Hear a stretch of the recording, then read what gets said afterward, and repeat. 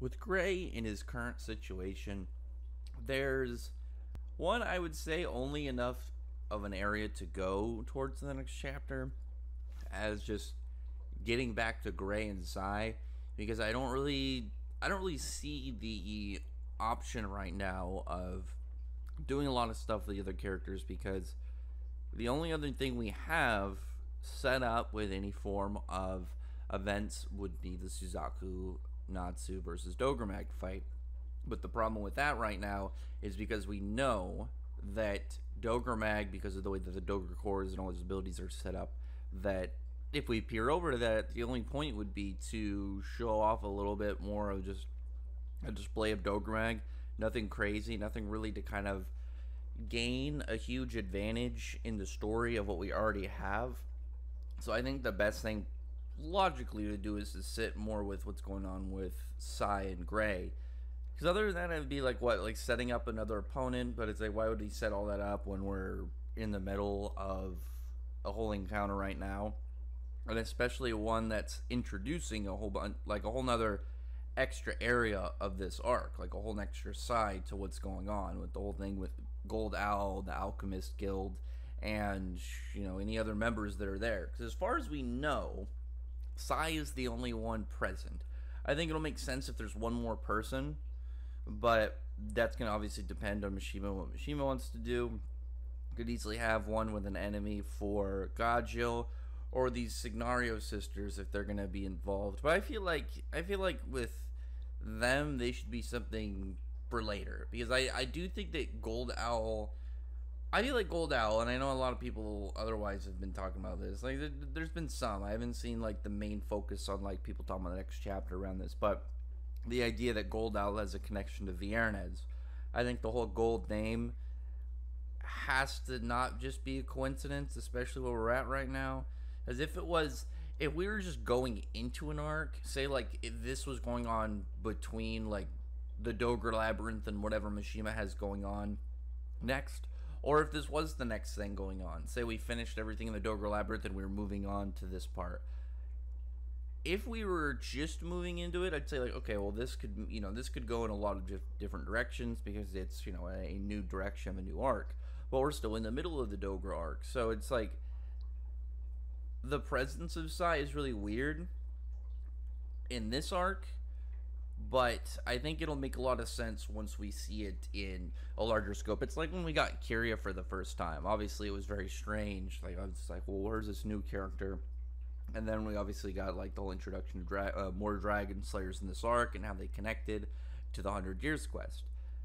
Little different, obviously, because like you know the Dragon Slayers, you know, connecting to a dragon themed arc. You know, very easy to see how those things kind of play out. With the alchemy, though the Alchemist Guild, I feel like I feel like a connection to Viernes is just the most logical thing for them.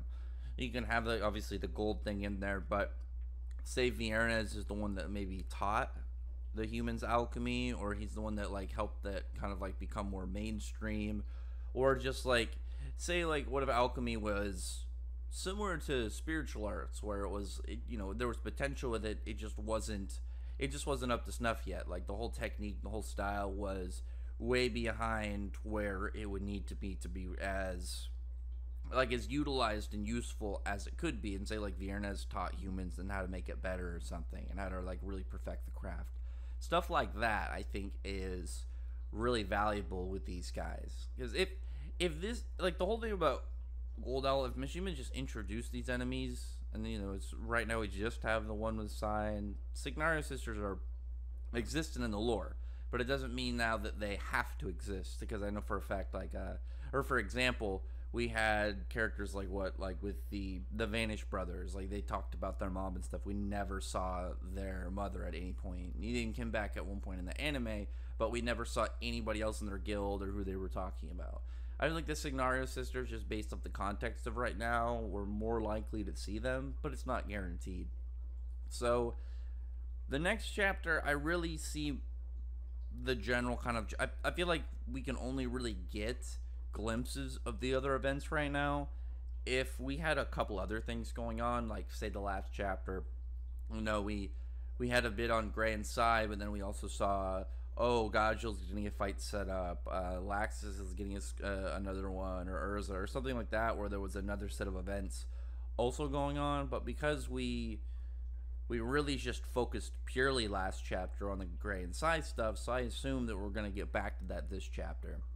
on top of that, Sai really needs to. This is just something I want to mention. Sai really needs to pull out like a good attack because his ability, like the whole love bond and rival bond, their their abilities I could see useful in very specific scenarios, but I don't imagine it being that useful that often. And when you look at it, that ability, and then you look at like what he's shown offensive wise, because all he's really shown so far is like the love bond. He's talked about the rival bond, he hasn't used it, and then he's got his whole chain.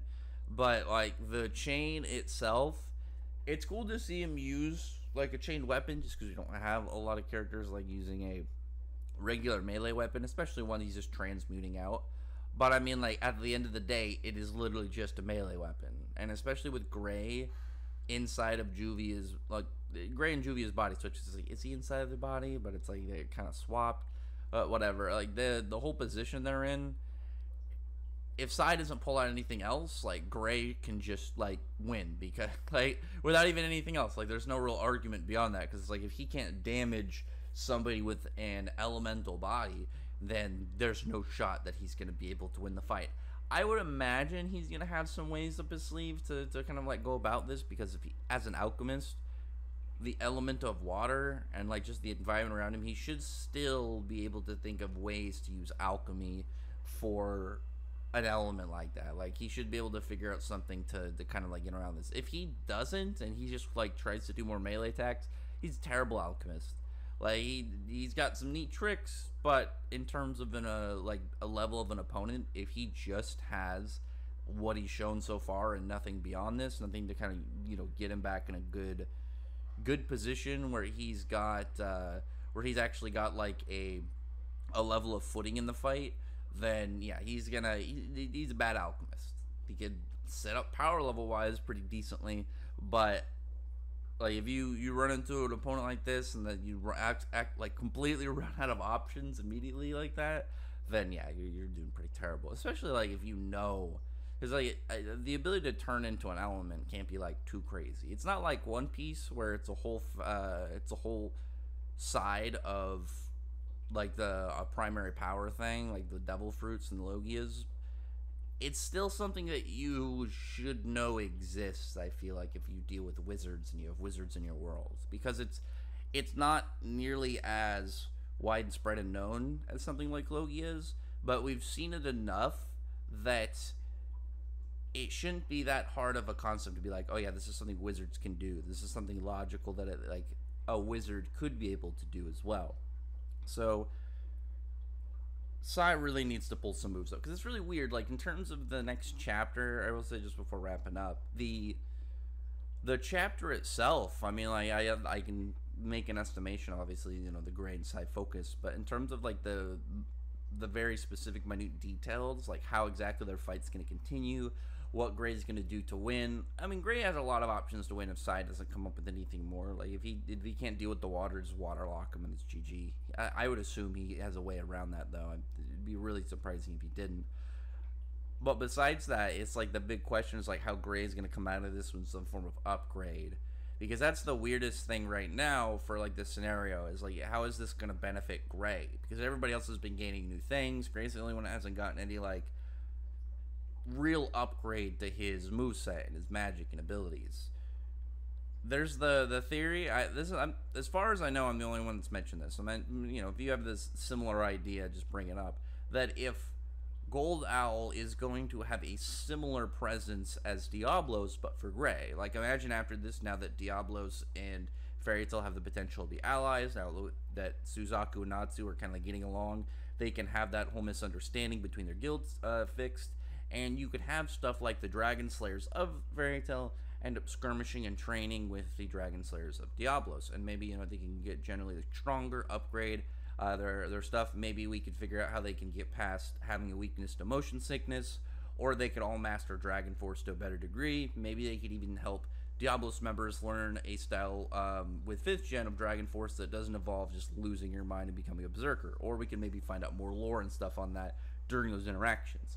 But say similar to what Diablos could be for the future of the Dragon Slayers of I'll imagine what Gold Owl, if they're going to be a similar thing for Gray, because Maker Magic is somewhat similar to Alchemy. So we could see something like oh, Gray goes and hangs out with them for X, Y, or Z reasons and ends up becoming more powerful with his abilities, and he comes back with a whole higher level of Ice Make, or even another ability on top of it. Like, what if, similar to how he is, this is the last thing I want to mention, similar to how his Devil Slaying, it uses both magic and curses, like both magical power and curse power. So he's able to get double benefits to say like you know he like when he went to go fight uh, Invel and he's pissed off that rage boost is going to both benefit his magic but also his curse power because of how curse power benefits from negative emotions. But say he gets an extra thing, like we we say um say when we find out more about alchemy, there is that kind of like extra perk of how they go about their stuff. Like say it's size using the gloves, it has more to do with equipment and that will just enhance your abilities and how you can use alchemy and whatnot. Say Gray gets some like cool uh, cool gear, and that just gives him an extra way to like use his abilities. Maybe he gets another element. Maybe it improves his ice make to some crazy new dynamic degree.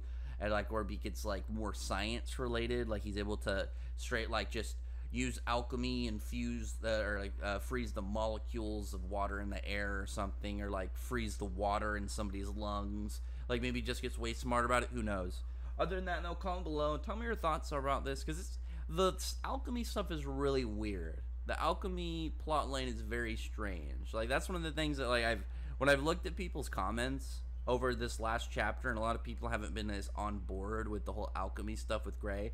I can understand that. Sometimes when people complain about like the chapters and and it's though there's a lot of time where I think the compl- the, the complaints and the criticism are, are goofy. It's like when people hate on Haku, but it, for being goofy, but it's like that's the point. There's always a silly character in Mashima's groups.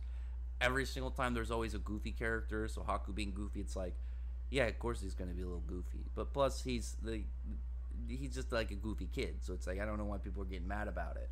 Whereas like the alchemy stuff being like like people's me like not as on board with it. I get because it's it's really out of nowhere and it's really strange, and I feel like it's something set up for Gray. But we'll see where else this goes.